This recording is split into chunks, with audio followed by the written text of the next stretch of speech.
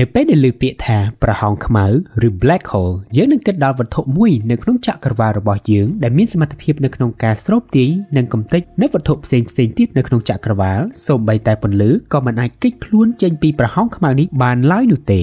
ដូច្នេះថាតើអ្វីគឺជាប្រហោងខ្មៅ ប្រហោងខ្មៅគឺជាកន្លែងមួយនៅក្នុងអវកាសដែលទំនាញសកល មានសភាពខ្លាំងក្លាជាងកន្លែងផ្សេងទៀតធ្វើឲ្យសមាសធាតុផ្សេងទៀតរួមទាំងសមាសធាតុវិទ្យុសកម្មពន្លឺមិនអាចធ្វើការគេចចេញពីការស្រូបទាញរបស់វាបាននោះទេមូលហេតុចម្បងនៃការកើតមាននៃប្រហោងខ្មៅនោះគឺជាការស្លាប់របស់ផ្កាយ នេះធ្វើឲ្យការសង្កេតមើលទៅលើប្រហោងខ្មៅដោយផ្ទាល់នោះគឺមិនអាចទៅរួចនោះទេទោះបីជាប្រើប្រាស់នៅតេឡេទស្សន៍ដែលមានប្រសិទ្ធភាពខ្ពស់ក៏ដោយចុះតេឡេទស្សន៍ទំនើបភាគច្រើនប្រើប្រាស់ការសង្កេតមើលទៅលើទម្រង់និងអេរិយាបថរបស់ផ្កាយដែលត្រូវបានគេយល់ថាស្ថិតនៅក្បែរប្រហោងខ្មៅនោះ។ ទម្រង់នៃប្រហោងខ្មៅត្រូវបានគេបែងចែកចេញជាផ្នែកខាងក្នុង និងផ្នែកខាងក្រៅនៃ Event Horizon ដែលជាព្រំដែននៃប្រហោងខ្មៅជាកន្លែងបាត់បង់ម៉ាស់របស់វត្ថុដែលចូលទៅក្នុងខ្លួនរបស់វានោះនិងផ្នែកផ្សេងទៀតគឺជា Singularity ជាកន្លែងមួយនៅក្នុងអវកាសនិងពេលវេលាដែលម៉ាស់ទាំងអស់នៃប្រហោងខ្មៅត្រូវបានប្រមូលផ្ដុំ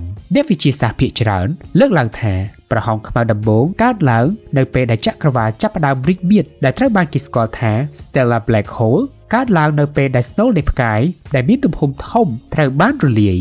Massive Black Hole វិញត្រូវបានគេជឿថាកើតមានឡើងនៅក្នុងពេលតែមួយនៃការកកើត Galaxy របស់វានោះភាពស្រដៀងគ្នាដ៏ធំបំផុតមួយនៃប្រហោងខ្មៅភាគច្រើនគឺជាវត្តមានរបស់វាក្រោយពេលនៃការស្លាប់របស់ផ្កាយគោលរបស់វានោះ នៅពេលដែលធម្មពលនៃផ្កាយមួយដួងអស់ជំហានដំបូងរបស់វាគឺជាការបំលែងនៃអ៊ីដ្រូសែនคล้ายទៅជាអេលីយ៉ូមបន្ទាប់មកទៀតក្រោយពេលនៃការអស់អ៊ីដ្រូសែននោះគឺជាការបន្តនៃការដុតអេលីយ៉ូមនៅក្នុងខ្លួនរបស់ផ្កាយនោះ ទំហំនៃប្រហោងខ្មៅគឺមានភាពចម្លែកបំផុតមួយប្រហោងខ្មៅប្រភេទខ្លះមានទំហំតូចស្មើនឹងអាតូមមួយដែលត្រូវបានគេស្គាល់ថា macro black hole និងប្រភេទផ្សេងទៀតនៃប្រហោងខ្មៅនោះអាចមានទំហំធំរហូតទៅដល់ដាក់ព្រះអាទិត្យចូលទៅក្នុងខ្លួនរបស់វាបានប្រមាណជា1លានដួងនិងមានសមត្ថភាពនៅក្នុងការលេបចូល Galaxy មួយចូលទៅក្នុងខ្លួនរបស់វានៅក្នុងពេលតែម្ដងតែប៉ុណ្ណោះជាការពិតណាស់ ប្រហោងខ្មៅបានស្រូបទាញនូវវត្ថុសពបែបយ៉ាងសូម្បីតែពន្លឺក៏គ្មានឱកាសនៅក្នុងការគេចខ្លួនចេញពីប្រហោងខ្មៅ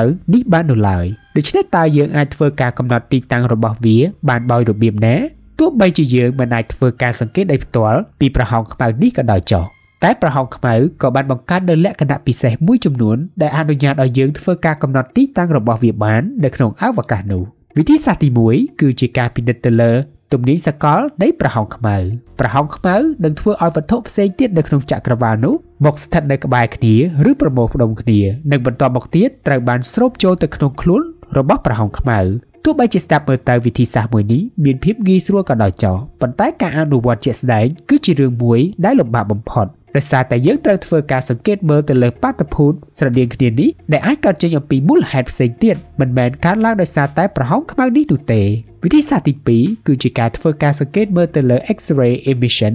ឬជាការបញ្ចេញកាំរស្មី X-ray នៅពេលដែលមានសមាសធាតុត្រូវបានស្រូបចូលទៅក្នុងប្រហោងខ្មៅនោះវានឹងបង្កើតចេញជារង្វង់ដែលមានដងស៊ីតេខ្ពស់មួយដែលមានរាងដូចជា horizon ពេលខ្លះធម្មពលត្រូវបានបំលែងចេញជាពន្លឺនិងបង្កើតទៅជាតំបន់ពិសេសមួយនៅលើប្រហោងខ្មៅមួយនេះ ដងស៊ីតេនៃប្រហោងខ្មៅនោះគឺមានបរិមាណខុសគ្នាអាស្រ័យទៅលើប្រភេទនៃ Galaxy និងផ្កាយដែលបានបង្កើតវានោះហើយដើម្បីធ្វើការកំណត់ចំនួននៃប្រហោងខ្មៅនៅក្នុង Galaxy ក្រុមធូលីនិងឧស្ម័នយើងត្រូវធ្វើការពិនិត្យឲ្យបានល្អិតល្អន់បំផុតមួយប្រហោងខ្មៅ2នៅក្បែរគ្នាអាចបង្កើតឥទ្ធិពលដ៏ខ្លាំងក្លាមួយនៅក្នុងតំបន់ដែលពួកវាកំពុងតែស្ថិតនៅនៅក្នុងពេលតែមួយដូច្នេះយើងអាចពិបាកនៅក្នុងការសង្កេតមើលពួកវាទាំងពីរ នៅក្នុងចក្រវាឡដែលមនុស្សរបស់យើងអាចសង្កេតឃើញនោះមានការព្យាករណ៍ថាចំនួននៃប្រហោងខ្មៅមានប្រមាណជា100 trillion នៅក្នុងចំណោមនោះមានប្រហោងខ្មៅប្រមាណជា100ទៅ200ដួងត្រូវបានគេកំណត់ទីតាំងយ៉ាងច្បាស់លាស់មួយហើយក៏មានការរកឃើញនៅប្រហោងខ្មៅយក្សឬ supermassive black hole និង quasar ដែលមានឈ្មោះថា 1ES 2344 514និង Fornas A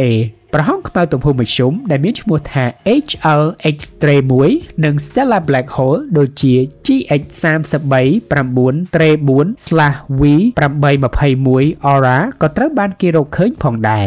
ដូច្នេះថាតើយើងប្រើប្រាស់វិធីសាស្ត្របែបណាដើម្បីធ្វើការកំណត់និងព្យាករណ៍អំពីចំនួននៃប្រហោងខ្មៅនេះ ជំហានទី1គឺយើងត្រូវធ្វើការរកចំនួនប្រហែលនៃប្រហោងខ្មៅនេះនៅក្នុងចក្រវាឡរបស់យើងតាមរយៈលក្ខណៈនៃ Galaxy និងផ្កាយជាដើមយើងត្រូវពិនិត្យមើលទៅលើលក្ខណៈដូចគ្នានិងធ្វើការព្យាករណ៍ទៅលើចំណុចផ្សេងផ្សេងនៅក្នុងតំបន់តែមួយដូច្នេះយើងអាចទទួលបានចំនួននៃប្រហោងខ្មៅប្រមាណជា10ទៅ20ដួងជាបណ្ដោះអាសន្នជំហានបន្ទាប់ទៀតគឺជាការស្វែងរកនៅចំណុចដូចគ្នានិងចាត់ថ្នាក់នៃប្រហោងខ្មៅនេះដូចជា supernova ឬ quasar ជាដើម ដោយសារតែប្រភេទនៃប្រហោងខ្មៅនីមួយៗមានលក្ខណៈសម្បត្តិខុសគ្នាដូច្នេះយើងអាចកំណត់ប្រភេទនៃប្រហោងខ្មៅបែបណាដែលកំពុងតែលាក់ខ្លួននៅក្នុងផ្នែកផ្សេងណាមួយនៃចក្រវាឡរបស់យើងនោះបានដូច្នេះយើងអាចធ្វើការកំណត់នៅប្រភេទនៃប្រហោងខ្មៅបែបណាដែលកំពុងតែលាក់នៅក្នុងផ្នែកណាមួយនៃចក្រវាឡរបស់យើងនេះ។ ហើយជំហានចុងក្រោយនៃការស្វែងរកនៃចំនួននៃប្រហោងខ្មៅនៅក្នុងចក្រវាឡរបស់យើងនោះគឺជាការព្យាយាមនៅក្នុងការសម្លឹងមើលទៅក្នុងចក្រវាឡមិនឈប់ឈរជាប់ជាប្រចាំដូច្នេះការប្រើប្រាស់ពេលវេលានៅក្នុងការសិក្សាអំពីវត្ថុដ៏អាក់កំបាំងមួយនេះនៅក្នុងចក្រវាឡនោះប្រហែលជាត្រូវចំណាយពេលវេលាជាច្រើនដើម្បីកំណត់អំពីចំនួនជាក់លាក់និងពិតប្រាកដមួយពីប្រហោងខ្មៅនៅក្នុងចក្រវាឡរបស់យើងនេះ។